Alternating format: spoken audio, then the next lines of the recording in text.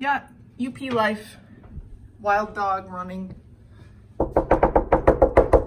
This is the snowbank and she runs back and forth trying to catch a squirrel.